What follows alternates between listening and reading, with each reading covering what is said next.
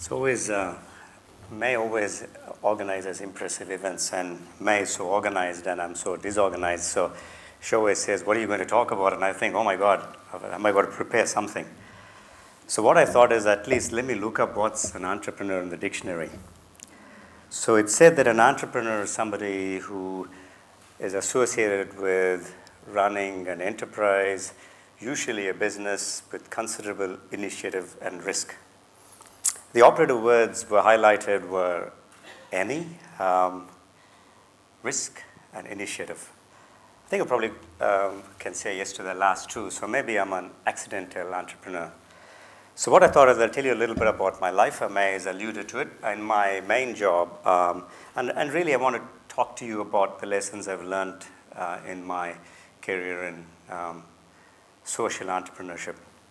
So in my medical practice, I'm a skin cancer surgeon. Um, I probably have the busiest practice in the country.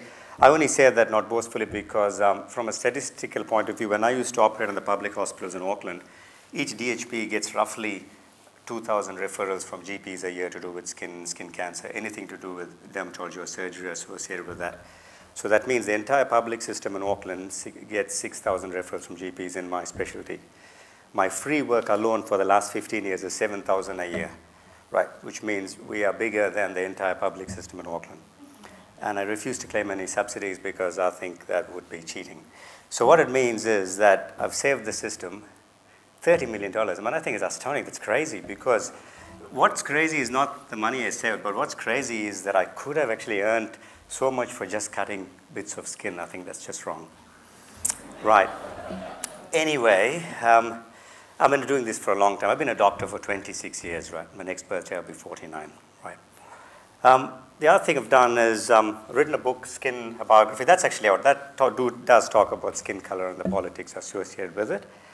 Um, but there is another book which just come out this month, or it's going to be released next week, called Democracy by Brown Skin for Brown Skin. Right. Um, so I've written um, four novels three books of nonfiction. This month I had a volume of poetry and a kid's book come out in America. Now, now the funny thing is, right, um, it may be some sort of record if it was my full-time job, but I'll tell you um, how you can do it. See, um, the, from an entrepreneurship or a pure business, um, my skincare company, which we're currently in talks with L Capital, which as you would know is the investment arm of Louis Vuitton Group, uh, to do with a Mechanis range there as well as a new sunscreen we developed. Now, how that came about was as a child, um, I was born in England, my parents went to India. Uh, there were people in the fields used to rub oranges on their skin, and I was thinking, why they're rubbing the outside of oranges, why they're not cutting it up? So that stuck in my head, like May says, things get stuck in my head, and then I kept researching biotechnologically from the outside of orange, peel, orange peels, and that formed the foundation of our extracts. But the point I make is, in dealing with melanomas and skin cancers, you're also speaking to people at the terminal end of life, quite sadly. I had a kid today who just came to see me, um, and he was very worried because I'd seen his mother about a year ago. Um, his mother was 42, and um, she lasted 42 days after a melanoma. Right.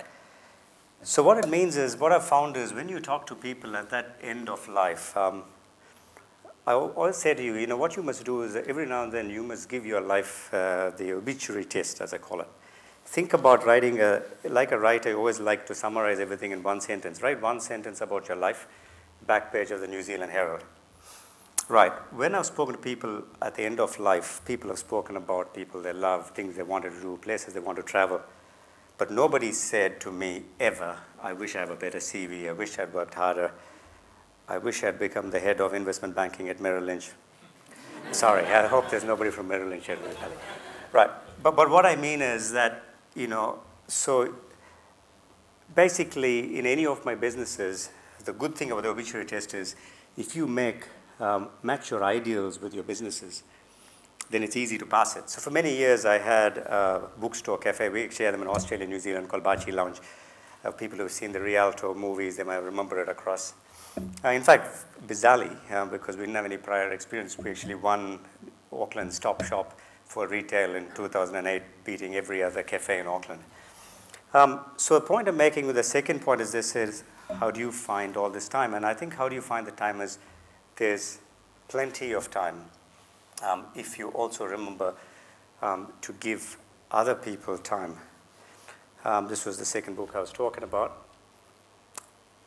Okay, so one day a week, um, when I'm in the country, I don't work even in medicine or at the university where I teach, but I um, teach creative writing for children in Lower Decile schools. Scarily, there are 99 Lower Decile schools in Auckland, right, which is 100 schools just in Auckland region alone. That's frightening. So what I talk to the kids about is, you see, the three tropes of writing stories is um, the context. You know, you need to get the context right, and you develop your character, and you resolve conflicts. That's not just for writing stories, but that may be a parable for life itself. So we work with these blocks. But one of the things about blocks is I mentor writers. I always give people time. So somebody rings me up and says, I'm writing this book. I say, okay, let me have a look at give you some advice. The problem with writers is everybody's complaining about the writer's block. I have a word for it. It's called laziness. Right. If you really think about it, does May I get lawyer's block? Do I get surgeon's block? Why should writer's block be unique to a lawyer or to a writer?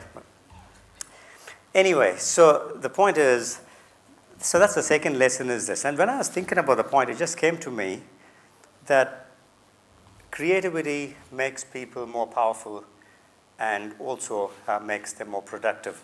That's the reason why people in Hollywood are successful, right? And or people in Bollywood. Um, so, so that's why the creative industries make people powerful.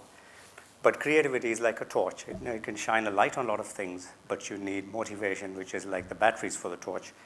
So while I was thinking this, while I was sitting here, it just struck me that the Sanskrit word um, entrepreneur means self-motivated. To me, it sounds very much like entrepreneur, does it not? Okay, so this slide I put up because, of course, it was a day when there were no digital cameras. The only picture I got of this bull.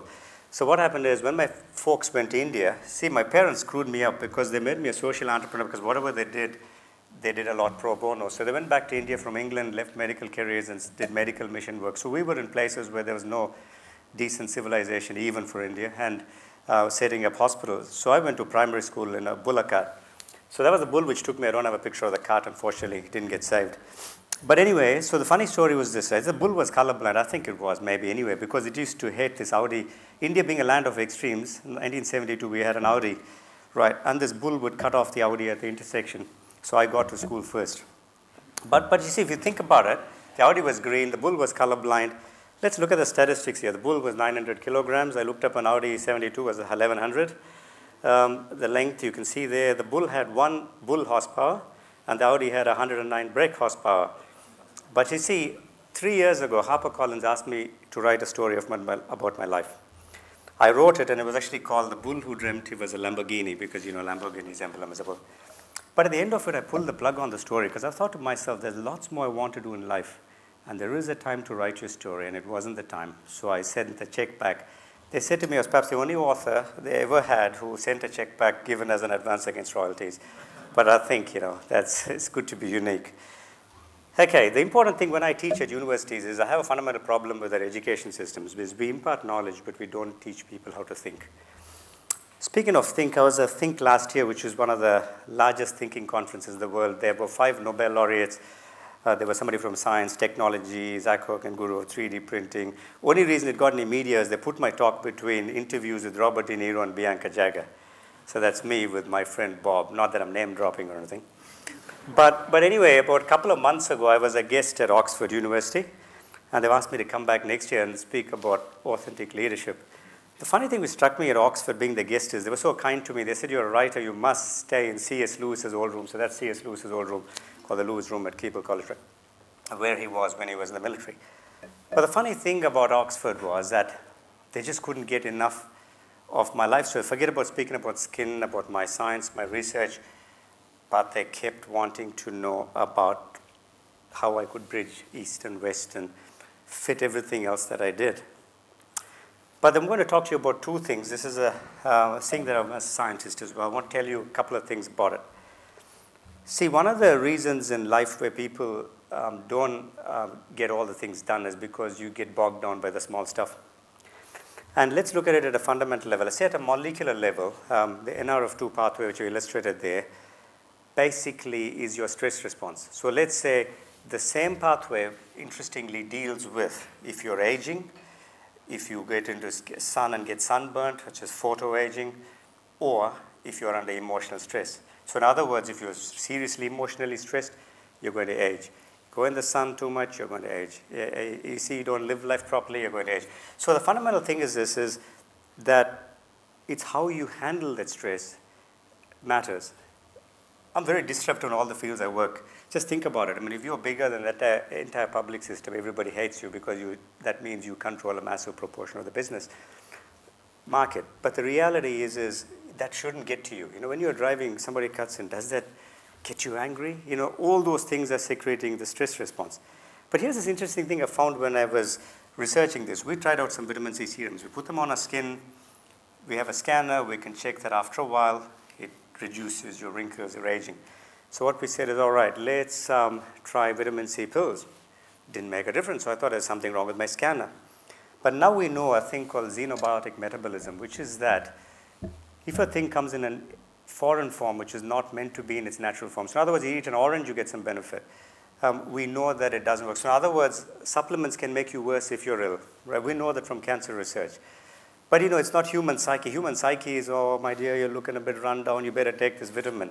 That'll make you even worse. The time to take supplements or vitamins when you're feeling well, not you're feeling ill. Okay, that's my medical bit. But the diversity factor, because, um, see, one of the problems in um, New Zealand is sometimes anybody who doesn't look European always remains an outsider. Like I've been here for 24 years. I won the New Zealand Medical Association's highest award. It's only been awarded to one doctor across all specialties at a time, and only about five times in the last 20 years. And somehow I was in the firing line. I was in the finals of the New Zealand of the Year. But what I mean is still the odd time I might get a patient who would ring my rooms and ask, what nationality is he? Does it matter? But what struck me when I was in Oxford and I spoke to the alumni at Stanford uh, uh, earlier in the year, was that this, there's a lot of research. See, we know the benefit of universities, they create human capital. We know the benefit of industries, they create physical capital. The social capital networks like this are vitally important. Why? Especially networks like this because of what I call the capital of diversity. There's plenty of research which shows that when you create a more diverse pool of thinkers contributing ideas, you create knowledge. So one of the things we are talking at Stanford is, for example, you go to Google, you go to Facebook, what do you see? You see a lot of Asians, not just because the parents put an emphasis on education, because it's a diverse viewpoint. So the more diverse you are as a society, the more knowledge you create. And why is this creating knowledge important? The reality is, in New Zealand, we're at the bottom of the ocean, at the bottom of the world. No, we're not on the way to anywhere else. So our economies really need to be knowledge-based economies, especially in the age of the internet. Like Derek said, everything can travel very easily. So basically, um, you know, this is the age uh, when we should be creating businesses which are knowledge-based. And if we want to create businesses which are knowledge-based and increase the knowledge, then we need a lot more diverse viewpoints. Now, sometimes you see with all this, you also need to, love, uh, because see, the problem is we are geographically isolated. So before I finish, and speaking of isolation, a few years ago I said, okay, I'm going to climb, trek in the Himalayas, clear my head, and write another novel. So that's my second novel. It's called To Kill a Snow Dragonfly. By the way, I expect all of you to go to my website and buy all my books today, because all the profits go to programs for these children, right? Um, so anyway, uh, so what I like to say is when I was traveling these mountains, people had, hadn't heard of New Zealand, they hadn't even heard of New Delhi, which was probably the closest country. Anyway, so I saw, I've met some Sherpas, I'm having some chat mostly in sign language, and it's amazing how you can communicate with people if you spend some time with them. So I've learned these lessons from what I call the Sherpa School of Business. So the first one is this your, your ability in business or in life to climb a mountain is not proportional to the number of times you fall. So don't be afraid to fail. We all have. The second thing is this your ability to climb a mountain is not proportional to somebody else's ability to climb the same mountain. So don't try and trip them up. Sometimes in New Zealand, we tend to think like that. So the moral is uh, don't be afraid to take risks. See, in this room, we have a diverse crowd. But all of us can therefore be boiled down into three types. You're either Judeo Christian Islamic, which means those of you who believe in heaven or hell. You're Eastern, Hindu, Buddhist, Shinto, you all think you get reincarnated. You're greeny atheist, you all get just recycled by earthworms. But what's, but what's common in all this is, in this form, as myself, Sharad, or Marissa, Derek, May, this is our only chance to make a difference. So let's not screw it up. Thank you.